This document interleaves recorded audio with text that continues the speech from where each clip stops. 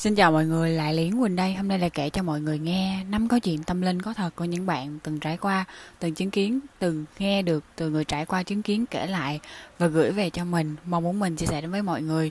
Những bạn gửi chuyện cho mình có thể gửi qua Gmail nè, tại đây hoặc là fanpage Facebook yêu Quỳnh 23 mình để đường link dưới phần mô tả. Các bạn kéo xuống dưới nhấp vào đường link để gửi nha. Cảm ơn các bạn rất là nhiều. Giờ chúng ta vào chuyện thôi. Câu chuyện đầu tiên của một bạn nữ xin giấu tên gửi về cho mình. Chuyện xảy ra khi bạn 8 tuổi, về con búp bê nhặt được ngoài đường. Bạn kể là ba bạn là người đi mua phế liệu. Thì cái hôm đó ba lấy ở đâu ra một con búp bê á, đem về cho bạn. Búp bê này là kiểu giống như búp bê nước ngoài, nó chiều có chiều cao là 50 đến 70 cm, nó bự lắm. Nhìn nó đẹp nữa, tuy là hơi cũ thì ba thấy là còn chơi được á, ba mới đem về cho bạn gia đình bạn cũng nghèo nên không có tiền mua đồ chơi. Thời điểm đó bạn còn khá là nhỏ mà. Khi mà ba đem về bạn nhìn nó bạn thích thích nhưng mà cũng sợ. Tại vì lần đầu tiên tiếp xúc với loại búp bê mà nhìn đối với bạn là nó hơi bị sang luôn á. À, bạn đem nó cất vô tủ. Năm sáu ngày sau á thì bạn mới nhớ đến nó và lôi nó ra chơi. Và lúc mà lôi nó ra chơi á là tầm 7 giờ tối. Mà không biết sao nha khi bạn lôi nó ra rồi á tự dưng bạn đi tìm hũ mực và cây cọ khi mà bạn tìm được hũ màu cũ mà kiểu như ba hay lụm ở ngoài đường á, rồi về cho bạn chơi xong cây cọ, bạn đem nó ra trước nhà, ngồi mặt đối mặt với nó. Thì ngoài trước này chỉ có bạn với nó thôi. Các bạn đặt nó trước mặt vậy nè, nhìn. Rồi bạn lấy cây cọ, bạn mở hũ màu ra, bạn chấm, bạn chét lên mặt nó. Chét màu đen nha, không phải là kiểu tô môi, tô mắt không đâu. Bạn chét nguyên cái mặt nó màu đen luôn. Và lúc mà chét gần xong cái mặt nó thì mẹ đi ngang và mẹ chỉ với bạn á mẹ la. Mẹ kêu là bôi nha lập tức. Phải bôi liền. Thì bạn lật đật lật đật bạn sợ mà bạn chạy ra làm sao bạn lấy cái nồi dẻ bạn nhúng nước xong rồi bạn lao cái mặt cho nó. Nhưng mà các bạn biết không càng lao á, thì cái màu đen nó càng lem chỉ là đỡ một xíu thôi nó khác với cái màu da ban đầu. Màu da ban đầu của con này là kiểu màu ố vàng bây giờ thì nó kiểu màu nâu nâu đen đen nhìn nó hơi đáng sợ. Càng nhìn nó thì bạn càng à, ớn lạnh vừa sợ sợ á. Bạn quyết định là đem nó đi cắt. Nhưng bạn không có cắt ở trong cái tủ nữa. Bạn đem vô phòng ngủ của gia đình bạn á bạn cắt. Thì phòng ngủ của gia đình bạn như thế này. Có hai cái giường sắt như vậy. Một giường đặt sát chết bên phải một giường đặt sát chết bên trái. Chính giữa là cái lối đi ha. Rồi à, có một cái tivi đặt kế cái cửa ra vào phòng ngủ á để cho gia đình bạn tối xem phim thì bạn đem nó bạn đặt ở dưới chân giường bên trái của ba mẹ. Đặt cái chân giường ngoài luôn là miễn vô phòng một cái sẽ thấy nó ngồi dưới đó. Tối hôm đó chính giờ gửi gia đình bạn vào phòng. Mẹ ngủ trước rồi. Chỉ có ba bạn và chị gái thức để xem phim thôi. Thì à, bạn nằm cắt cớ như thế này nè mọi người. Bạn nằm ở ở phía ngoài giường mép giường luôn. Bạn chị của bạn thì nằm ở trong. Bạn nằm á, từ cái hông này đổ xuống cái chân á, là ở ngoài mùng.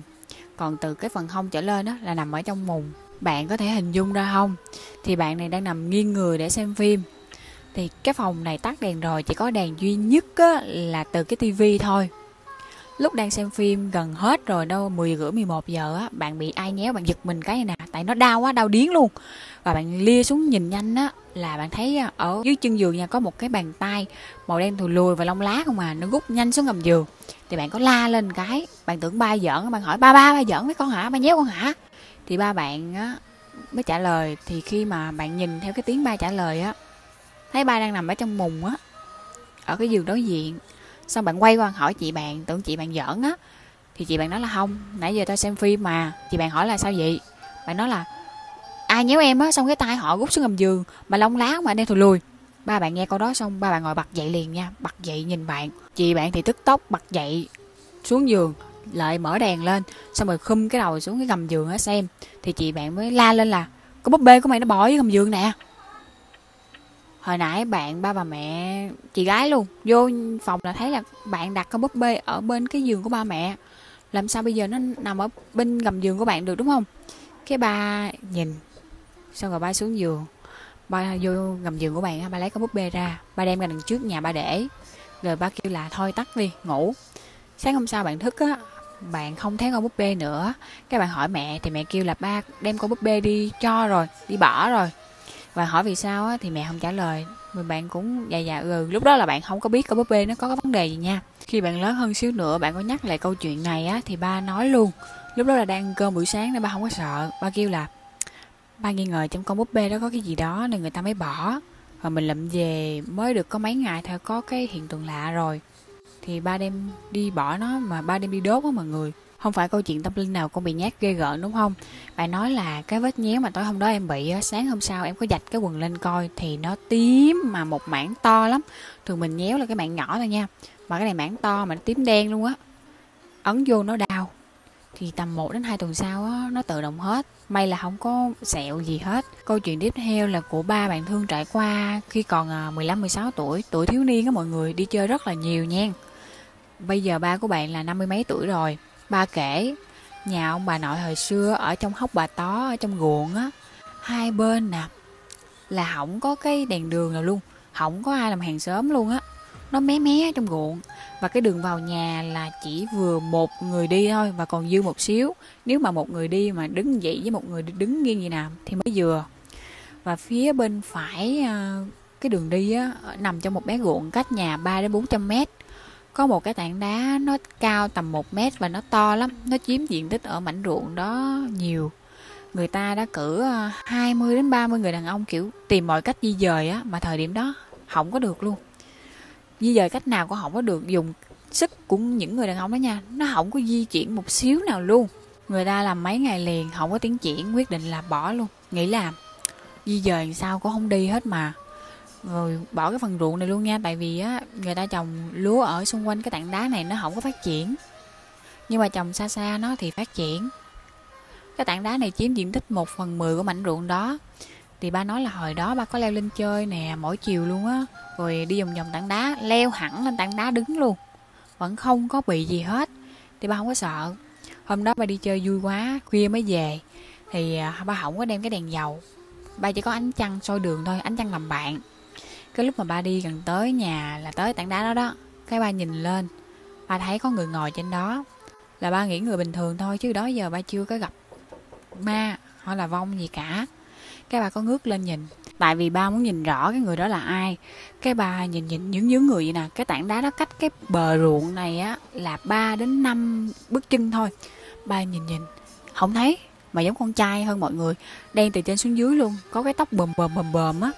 Cái bà nhìn nhìn hơi á, ba bước sau á, một cái chân ở trên bờ, một cái chân ở dưới ruộng. Và cái chân của ba nha, không hiểu sao nó cứ lúng hoài luôn. Ba hoảng, hồn dưới lên mây hết rồi, tại vì gực cái chân gực ra không có được, mà càng gực á, nó càng lúng. Cái bà cứ gực gực gực như nào, lấy hết sức bình sinh luôn. Tại vì nếu mà lúng vậy hoài là hơi nguyên cái người ba nằm ở dưới ruộng luôn, và lúng ở dưới luôn đó, ba sợ chết. Cái bà gực gực hơi á, không hiểu sao ba gực lên được. Ba lùi lùi lên bờ vậy nào ba nhìn lên cái chân á, thì cái chân dính sình của mà mà đã dép mắt tiêu đôi dép mất tiêu luôn. Cái ba nhìn lại trên tảng đá đó là không thấy ai hết. Xong ba mới nhìn xung quanh. Nhìn xung quanh là tưởng cái người đó là xuống cái tảng đá giúp mình á. Kịp ba nhìn xung quanh không thấy ai hết. Nhưng mà nha giống như ai thổi một cái làn gió qua sau gáy của ba vậy á các bạn sợ người ba quay đầu qua nhìn liền. Tưởng là cái người đó đằng sau mình á nhưng vẫn không thấy. Ba hoảng hồn quá ba đứng dậy ba chạy một mạch lại luôn. Tức là chạy về nhà bạn của ba ngủ á, chứ không có vô nhà nữa chạy lại đó, xong hớt ha hớt hải bạn của ba, tưởng ba mới bị người ta đánh không à? Hỏi sao gì ba kể lại. Bạn ba kêu, rồi rồi, bị nhát rồi. Cái bạn ba mở cửa cho ba vô, cửa tay, cửa chân này kia đó, rồi mới cho vô ngủ. Sáng ba mới về. Sáng ba về ba kể lại cho ông bà, thì ông bà cứ à ầm thôi, chứ không có nói là cái người đó là ai luôn không tiết lộ luôn. Và cái thời ba mới mười mấy tuổi là chiến tranh rất là nhiều và người ta chết rải rác hết, rải rác có thể là ba gặp những cái người mà mất vậy đó, đó. Ông bà mới nói là mấy mốt về sau á đi chơi về sớm hơn xíu nếu mà không muốn bị nhát gì nữa. Rồi à, ba dạ dạ thì hôm sau á mọi người ba mới thấy cái đôi dép của ba. Nó nằm ở mảnh ruộng nó luôn nhưng mà không phải là cái vị trí hôm qua ba té mà nó sát bên cái tảng đá sát bên tảng đá. Rồi bạn nói là bây giờ gia đình bạn vẫn sống ở đó nhưng mà nó đông đúc người hơn rồi. Cái tảng đá đó đó bạn nghe mọi người kể là đã được cho nổ nổ banh cái tảng đá luôn và lắp lại xây nhà ở cái khu vực đó. Câu chuyện thứ ba này là của lê mạnh gửi về cho mình. Bạn nam này kể là chuyện này xảy ra 2 năm rồi, thì ai mà là sinh viên đi học ở một nơi khác, xa gia đình, cũng từng một lần mướn làm nhà trọ, đúng không? Lúc đó bạn đi xem nhà trọ với một bạn nữa, hai đứa bạn tìm hoài thì mãi cũng được một căn phòng. Với cái điều kiện kinh tế hợp lý thì khi vào xem phòng á thì à, nó hôi lắm mọi người. Nó hôi cái mùi mốc mốc. Và quan sát phòng á, thì phòng cũ ẩm thêm nữa nha. Có mối á, làm tổ ở mấy cái tường vách tường ở trong kẹt vậy nào. Thì bạn nhìn đó thì bạn cũng hơi sợ. Nhưng mà với cái giá này á bạn là sinh viên thì phải chịu. Rồi mình à, vô ở rồi sau này sửa sang sao thì các bạn nhận phòng. Ba ngày á các bạn dọn dẹp cúng kiến này xong á có vào ở mà ngay cái đêm đầu tiên bạn đã gặp chuyện. Bạn nói là hôm đó vào ở thì cũng bình thường thôi do con trai mà không có để ý tiểu tiết quá. Cái à, tối hôm đó đâu 11 12 giờ bạn mới ngủ. Thì à, mấy bạn ngủ dưới đất. Kế cửa ra vào luôn. Bạn của bạn nằm trong bạn nằm ngoài. Lúc mà bạn đang ngủ ngon á tự dưng cái bạn cảm thấy là cái người bạn nó khó thở. Kiểu như ai ngồi lên bụng của mình á và bạn không thể nào cựa quậy luôn tay chân bạn nặng ơi là nặng nhưng bạn mở mắt ra được. Lúc mà bạn kiểu mở mắt ra bạn nhìn á thì bạn thấy là trên người bạn đang có một người ngồi. Và cái người này đang ngồi hẳn lên người bạn. Nhưng mà hai cái tay của cái người này á đang dịnh hai cái bờ vai của bạn. Các bạn hình dung đi bạn này đang nằm thẳng như vậy nha. Thì người con gái đó, đó cầm hai cái tay của bạn vậy nè. Không cho bạn cử động giữ bạn nằm chặt luôn. Và cái sức người con gái này mạnh lắm nha kiểu như bấu chặt vô hai cái bắp tay của bạn vậy đó. Thì bạn có cựa quậy hoài á, nhúc nhích mà la lên không được luôn. Lúc đó cảm giác của bạn á, chỉ khó thở và khó chịu thôi, chứ bạn không có cảm giác là sợ sệt. Ngay lúc đó luôn nha, thật sự. Bạn nói là tại vì không thể nào mà kiểu thở bình thường được, không thể nào kêu cái người kế bên được, cái người đó mà nặng, không thể nhúc nhích được luôn và bạn nói á, không có phải như các bạn tả là thấy ma thấy vong là kiểu người ta đã thấy mặt mày xanh lè là tím là có máu nhiễu đâu. Người con gái này á xả tóc rủ rượi che hết luôn cúi người xuống như nào. Và bạn ờ, chỉ thấy được là tóc người này dài lắm và người này kiểu da không phải là trắng xanh như các bạn tả không phải có màu đỏ luôn mà là trắng bóc trắng tinh. Giữa cái phòng trọ tắt đèn tối thui như vậy người con gái đó sáng rực. Bạn nói gì đó. Kiểu nhìn vô là chói mắt liền các bạn nhắm mắt mở mắt ra là chưa tới hai giây nữa nha. Không thấy ai nữa. Không thấy cái người con gái ngồi trước trước ngực, trước bụng bạn luôn. Thì sau đó cái người bạn được nhẹ dần nhẹ dần nhẹ dần là bạn mới thở lại bình thường được. Lúc này thì mới sợ, tại vì hồi nãy là cứ tưởng mình mơ, nhưng khi mình nhắm mắt mở lên nó mới biết là thật. Ha ha. Lúc này là con trai đôi khi cũng yếu đuối, đúng không? Thì à, bật dậy, mở đèn, thức tới sáng nhưng mà không có đặt nặng là kiểu run sợ này kia. Chỉ là thức tiếng sáng bấm điện thoại thôi. Sáng hôm sau có kể lại cho bạn cùng phòng nghe. Thì hai đứa quyết định là sẽ chuyển phòng trọ thà mất cọc chứ không để ảnh hưởng cuộc sống nha. Tại vì cọc đâu hai ba triệu hoặc là bốn năm triệu thôi. Nhưng mà ở đó hoài để giữ cọc á thì mình không đi làm được không có học tập được. Đôi khi còn mất rất là nhiều nữa. À, giải quyết chuyện dứt khoát như bạn này á đỡ rất là nhiều các gói đó. Nhớ nha câu chuyện thứ tư này á là của vi kể lại chuỗi ngày. Bạn thấy được người khuất mặt khuất mày trong gia đình bạn bạn thấy nó đáng sợ lắm thật sự. Hình như là chỉ có mình bạn thấy rồi bị nhát thôi mà chỉ từ khi bạn à, lớp 4 thôi nha. Chứ trước đó còn nhỏ bạn không bao giờ thấy không bao giờ cảm nhận và không bao giờ nghĩ đến vấn đề đó luôn. Lần đầu tiên là lúc đó 10 giờ 11 giờ trưa bạn ra đằng sau bếp một mình bạn thôi bạn ngồi trên bàn á, ăn cơm. Thì đối diện cái bàn ăn cơm này có cửa sổ nó đang mở ra lúc mà bạn đang ăn gì nào? Thì bạn à, cảm nhận có ai nhìn á, bạn mới ngước lên, bạn giật mình. Tại vì đối diện bạn có một cái người mà người này lạ hoắc à như người bình thường thôi, đang đứng ở cửa sổ bên hông nhà bạn nhìn bạn. Cái bạn sợ quá, bạn không biết người này là ai. Cứ nghĩ là người ta bắt cóc. Ăn lẹ lẹ lẹ dục cái tô cơm thì đó, bạn vô phòng luôn. Lúc mà từ nhà bếp đi lên phòng bạn, phải qua phòng khách thì lúc bạn vừa đi mà nhìn dưới đất đi nè, chứ không dám nhìn ở trên, bạn sợ người đó lắm. Cái bạn nhìn qua cái rèm ở chỗ phòng khách, bạn thấy có đứa nít nó núp ở đó, mà nó nhỏ xíu à. Nó tầm ba bốn tuổi à nhìn nó lạ hoắc à. Mà nó kiểu bị bệnh á, da nó xanh lắm. Bạn mới giật mình, bạn sợ. Không hiểu sao lúc đó bạn không la, không hét và không hỏi nó là ai, tự dưng vô nhà bạn nha, bạn chỉ biết sợ thôi. Bạn đi lẹ lẹ lẹ vô phòng. Đó là lần đầu tiên mà bạn gặp được hai người đó. Lần thứ hai là cách đó một tuần tối hôm đó bạn với mẹ đang nằm trong phòng á cái mẹ kêu là đi ra đằng trước khóa cửa lại rồi đi ngủ. Thì bạn cũng ra đằng nhà trước có phòng khách. Bạn đóng cửa lại xong bạn kéo kèm lại. Hmm, tắt đèn. Thì khi tắt đèn xong chỗ nào tối là bạn sợ à. Bạn mới đi lẹ lẹ lẹ vô phòng. Lúc bạn mở cửa phòng ra thì đối diện cửa phòng của bạn là một cái tủ để đồ. Nó cao lắm. Một bên cửa là bằng gỗ bình thường một bên đó là nó có cái kính kính toàn thân luôn. Cái bạn mở cửa ra bạn nhìn trong kính nha ngoài bạn ra. Còn có một cái đứa bé nó ngồi trên vai bạn nữa mà đứa bé này nhỏ xíu à. Cái bạn bước vô bạn thấy đứa bé này á, trên vai bạn nó ngã nó ngã đằng sau là bạn không thấy nó nữa. Cái bạn mới giật bắn người luôn. Bạn có nhìn ra đằng sau của bạn á, thì bạn không thấy đứa bé nào hết. Bạn cứ nghĩ là bạn nhìn nhầm. Cái bạn đóng cửa lại. Mà không hiểu sao nha, mỗi lần bạn bước vô phòng ngủ của bạn á, bạn nhìn vô con gấu to là to tầm mét tám á là bạn không có sợ gì hết. Bạn cảm nhận trong con gấu đó hình như có người, mà người này không có hại bạn. Rồi có cái đêm nha, bạn đang ngủ giữa khuya cái giật mình. Bạn mới à, lấy cái điện thoại ra, bạn chơi, bạn đang lướt. Thì bạn nằm ở sát mé giường, cái bạn đang nằm vậy lướt đi, cái bạn quay người qua bạn lướt. Thì đột nhiên bạn giật mình, bạn thấy là kế bên bạn có ai đứng nha bạn mới ngước từ từ lên mà bạn không thấy được mặt mày của họ, chỉ là đen thù lùi nên thù lùi thôi. Và bạn thấy được cái người đó xong là bắt đầu bạn buồn ngủ. Buồn ngủ không thể nào mở mắt được luôn, kiểu con mắt bạn nó hiếp ghịp lại luôn á. Bạn ngủ quên lúc nào có hay luôn. Ha. Rồi á, bạn có dự định nói với mẹ, nhưng mà không hiểu sao lúc mà bạn nói với mẹ nha, thường là mẹ sẽ gặp cái chuyện gì đó bận, hoặc là nó giữa chừng cái bạn quên. Giống như người ta không cho bạn nói vậy đó. Rồi chuyện cho qua thêm 3 tuần nữa tự dưng cái hôm đó sáng thức dậy bạn thấy hai cái vai bạn á nó mỏi nhừ. Cự động một cái là nói nhất à bạn cứ nghĩ rằng bạn mang ba lô á nên à, nặng quá nhất thôi một hai ngày sẽ đỡ. Nhưng không nha nó kéo dài đến hai tuần luôn bạn đã suy nghĩ đến việc là đi khám rồi đó.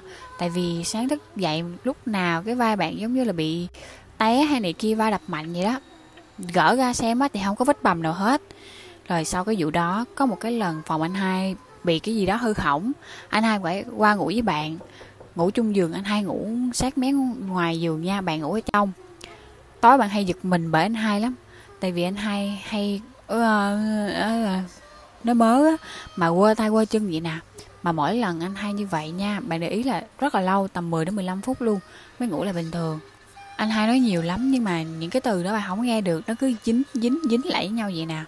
Ha là bạn để ý trong một tuần ngủ với bạn á, anh hai bị miết. Bạn đi qua đi lại, cái phòng của bạn mỗi buổi sáng và buổi chiều đi làm công việc ngang hành lang đó đó, bạn nhìn vô, bạn luôn mở cửa phòng mà. Bạn thấy bạn thấy nha, có hai người ngồi trên đầu giường chỗ bạn và anh hai ngủ.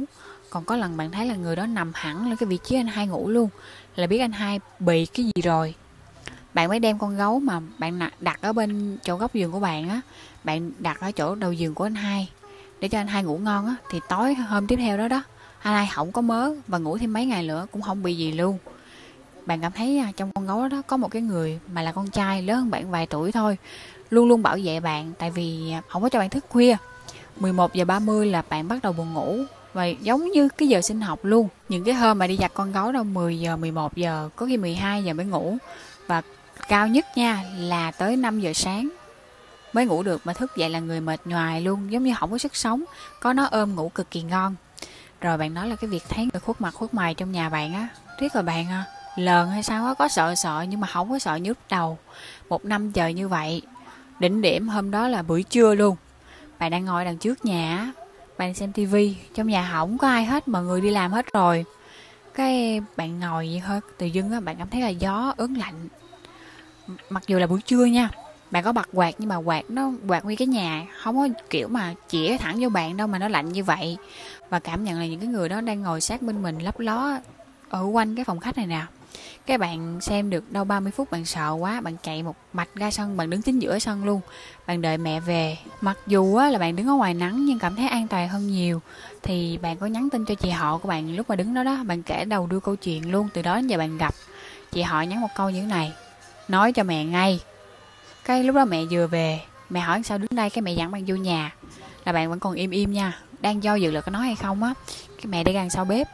Thì lúc này quyết định là nói với mẹ, bạn vừa nói vừa khóc luôn, bạn khóc quá thì khóc.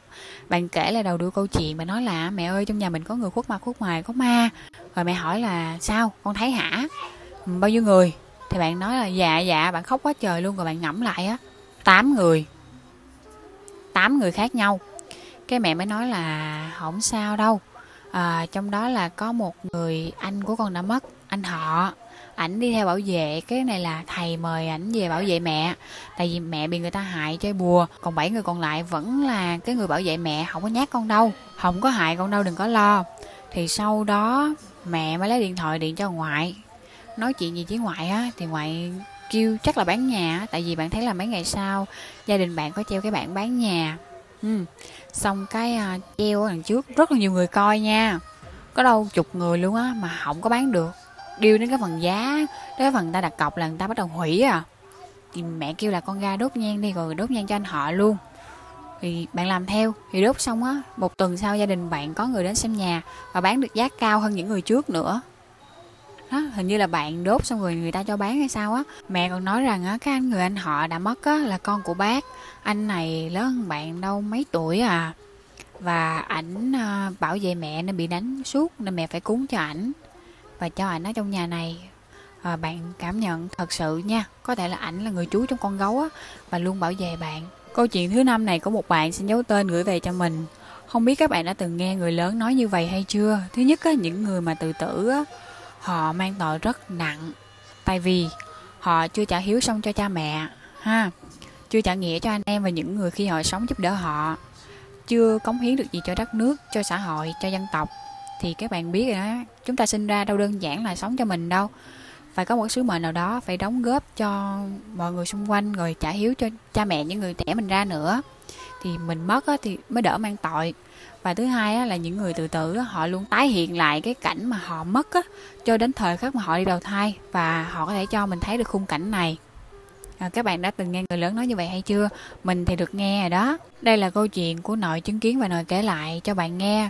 Bạn nói là hồi xưa nội ở quảng nam thì à, chỗ nội ở gần gãy và anh của ông nội hay lên gãy đi làm lúc sáng sớm 3 giờ sáng.